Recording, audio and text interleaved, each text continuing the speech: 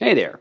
Do you have a third generation of AirPod and you can't connect it with your Google Pixel 6 or 6 Pro with the Android OS 12? If yes, well watch the entire video to know how you can give it a troubleshooting process to solve your problem and how you can connect your third generation of AirPod with your Google Pixel 6 and 6 Pro.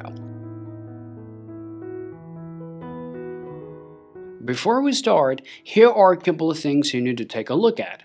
First, make sure that your AirPod has enough charge to play the role. Second of all, make sure your AirPod third generation is not connected with your any other device. And also, make sure to turn off the airplane mode on your Android device. Now after checking or making sure all of that, the first thing that you guys want to do to solve your problem is just go ahead and open up your settings and then choose connected device.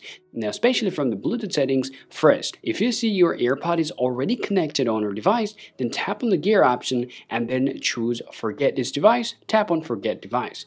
Well, if you don't find the Bluetooth device whatsoever over there, the next things you gotta do, just go ahead and grab your AirPod third generation and then just go ahead and take a look back here and then you'll be able to see a button. Now push that button and keep it holding unless you see the color changes with orange color and start blinking.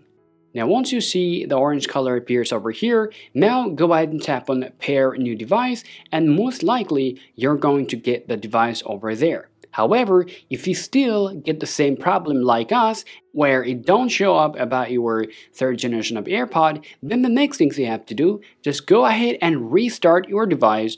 Well, after restarting your device, you need to go exactly the same spot. Now go to your Bluetooth settings, go ahead and tap on pair a new device. Now once you find out your AirPod, just go ahead and tap on there, go ahead and tap on the allow this option and tap on pair. Right after that, your device is going to be get connected and will be activated just like that. Alright guys, so this is how you can solve the connectivity issues with your third generation of AirPod with your Android device with Android OS 12.